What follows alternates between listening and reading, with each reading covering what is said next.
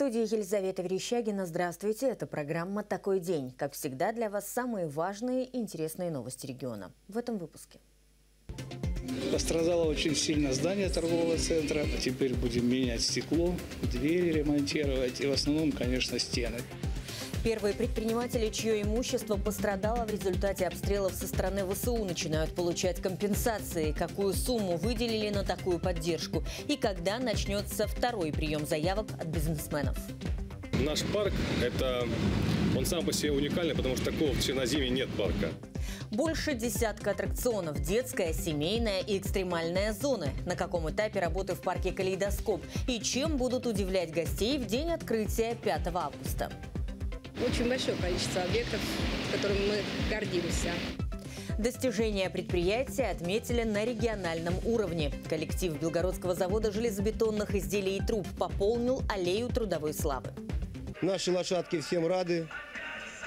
Вот, помогайте решать проблемы, создавать более комфортные условия для реабилитации детей – Верхом за счастьем. Почему ипотерапия эффективна для восстановления здоровья детей с особенностями развития? И как попасть на такие занятия?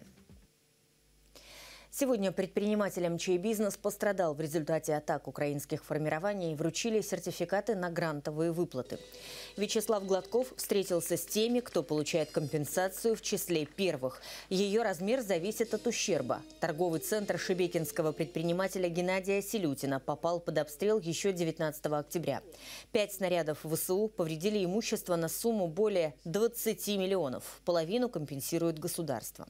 По счастливой случайности без жертв обошлось. Были у нас только раненые. Пострадало очень сильно здание торгового центра. Было выбито порядка 25 окон, двери, крыша. Оборудование на крыше осколками посекло сильно. Были пленкой позатянуты окна. Теперь будем менять стекло, двери ремонтировать. И в основном, конечно, стены. Там придется разбирать нам стеновые панели, потому что очень большой ущерб.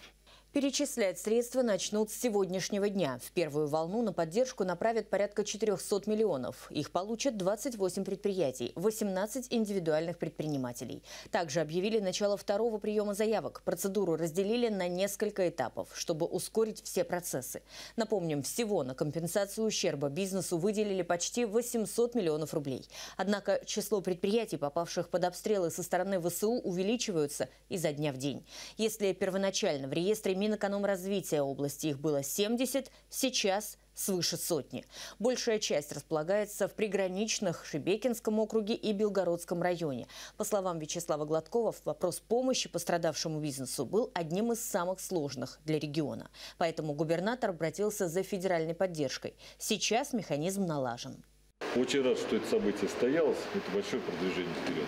Поэтому надеемся, что как только получите свои средства, приступите к восстановлению. Мы понимаем, что история с обстрелом, она сегодня не закончится, поэтому вот мы тоже, как только основную часть денег предоставим, и буду еще раз встречаться с министром и просить уже следующий этап формирования помощи.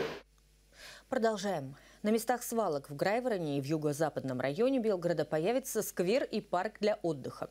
Сейчас в рамках проекта «Чистая страна» территории рекультивируют. Ход работ в областной столице оценил губернатор Вячеслав Гладков. На полигоне ТБО свыше 500 тысяч кубометров отходов.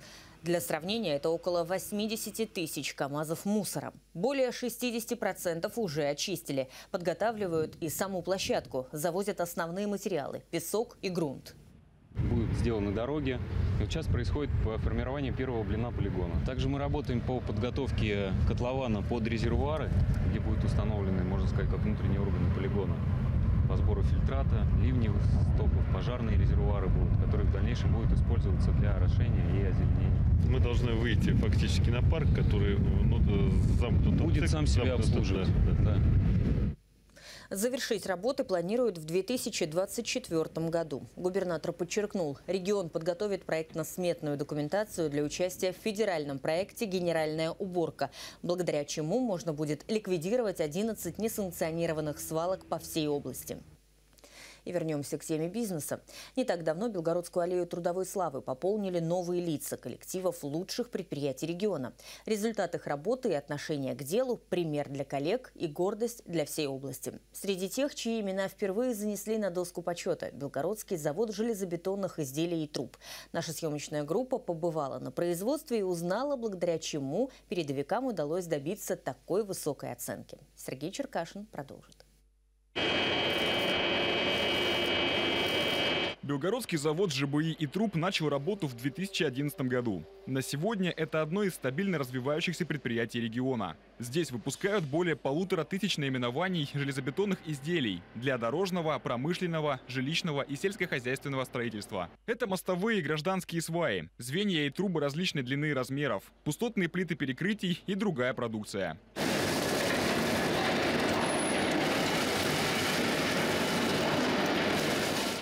В частности, только этот завод, единственный в Черноземье, может изготовить стеновое кольцо диаметром 2,5 метра. Впрочем, производственники берутся за заказы любой сложности и формы. Любим индивидуалку, у нас очень молодой коллектив, и это нас э, подстегивает сделать то, чего не сделает никто другой. Поэтому любое, все, что, все, что позволяет нам наше оборудование, э, мы беремся за любой заказ. Изделия пользуются спросом как в нашей области, так и за ее пределами. Вот очередная партия труб ждет отправки в Геленджик. Предприятие участвует во многих знаковых проектах. Среди них, к примеру, строительство Белгород-арены, микрорайонов Улитка и Новая жизнь. Курчатовская атомная станция, Тарасы М2, М4. Ну, очень большое количество объектов, которыми мы гордимся. Такие старания и кропотливый труд работников предприятия отметили на региональном уровне. 1 мая команду белгородского завода ЖБИ и Труб занесли на аллею трудовой славы. Благодаря сплоченному коллективу, творческому подходу, трудолюбию, веру в нас, наших заказчиков, только вот поэтому мы попали на аллею трудовой славы. Мы очень рады этому, очень гордимся. На этом предприятие не собирается останавливаться. Планирует сохранить за собой гордое звание передовиков белгородской промышленности и закрепить место на аллее. Сергей Черкашин, Валерий Варьков. Такой день на мире Белогорья. В Белгороде полным ходом идет строительство нового парка развлечений и отдыха. Его возводят на дальнем берегу центрального пляжа на улице Карачанской. Глава региона регулярно посещает площадку, чтобы оценить темпы работ. Сейчас идет установка и монтаж 12 аттракционов. Пусконаладку планируют завершить к 10 июня. Здесь будет три разноплановые зоны – экстремальная, детская и семейная. Отдельное внимание стилистическому оформлению. К примеру, появятся дома с соломенными крышами под старину. Вот они как мазанки такие будут очень интересные. Ну, то есть наш русский стиль. Да. Именно. То, что Именно он, да.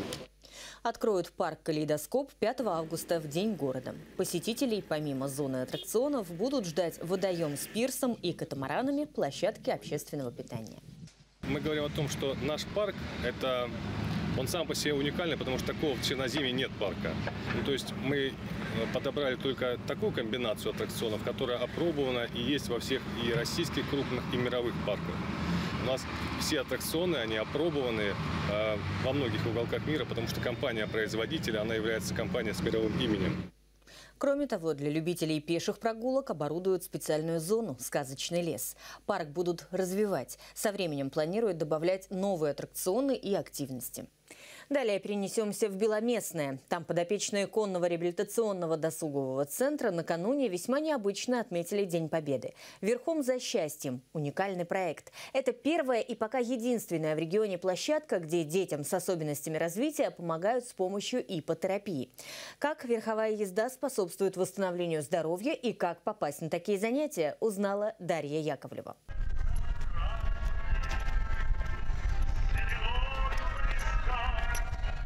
Маленькой Варваре два с половиной года, но она уже отлично катается верхом на фунтике. Ее и старшего брата родители регулярно привозят в реабилитационный центр на тренировки. На лошадке сидим уже с полутора лет. Сейчас ребенку два с половиной. Очень нравится. У меня старший ребенок инвалид, и Владимир Дмитриевич тоже с ним занимается ипотерапией. Сейчас здесь занимается больше трех десятков ребят. Милана и Влад уже полтора года обучаются верховой езде. Приезжают два-три раза в неделю. Для них это также часть реабилитации. Положительные изменения уже чувствуются, говорит мама. Мы пришли укрепить свое здоровье. Активно занимаемся конным спортом. Владу это очень нравится. Э, Милана также спину укрепляет. Мне нравится когда, кататься на лошадях, э, на спине лежать. Люблю всякие трюки на лошадях делать. Регулярные конные прогулки хорошо влияют не только на физическое состояние ребенка. Секрет в том, что во время катания человек получает удовольствие и отдыхает, и при этом у него задействовано до 600 групп мышц. Верховая езда отлично влияет и на психоэмоциональное состояние ребенка. Малыш быстро привыкает к животному, становится увереннее в себе, общительнее и веселее. Чтобы ипотерапия была эффективной, нужно в первую очередь правильно подобрать лошадь. Учитывают возраст, диагноз и поведение ребенка. Только так можно добиться нужных результатов. Сейчас в центре пять лошадей, и каждая специально обучена. Наши лошадки всем рады. Вот помогайте решать проблемы, создавать более комфортные условия для реабилитации детей. У нас в планах реабилитация и э, участников СВО в перспективе. А в этот раз для ребят, которые приехали на тренировку, особый подарок – праздничные катания и свой небольшой бессмертный полк. На портретах это наши дедушки, непосредственно мой дедушка на одном из портретов. Он является как бы непосредственно инициатором создания вот этого большого проекта. Попросил меня однажды, чтобы я сделал что-либо для э, своих правнуков, которые у него два инвалида получилось. Следуя завету деда, вот мы создали вот такое небольшое предприятие. На этом Владимир не планирует останавливаться и регулярно участвует в конкурсах на гранты, которые помогают развивать проект. Занятия бесплатные. Для записи нужна лишь справка от врача. Дарья Яковлева, Александр Сысоев. Такой день на мире Белогорья. В завершении об искусстве. В Белгороде открыли передвижную выставку лучших рисунков всероссийского конкурса «Мое будущее». Авторы – дети-сироты со всей страны.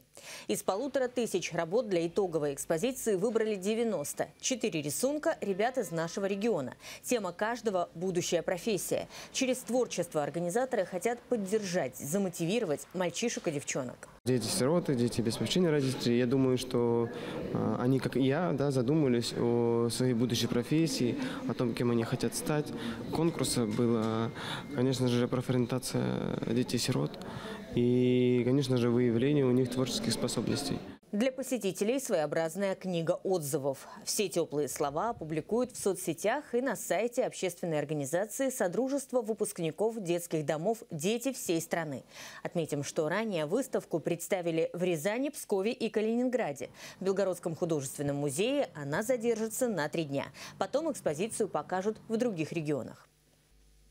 На этом выпуск завершен. В студии работала Елизавета Верещагина. Узнавайте о самом важном регионе вместе с нами.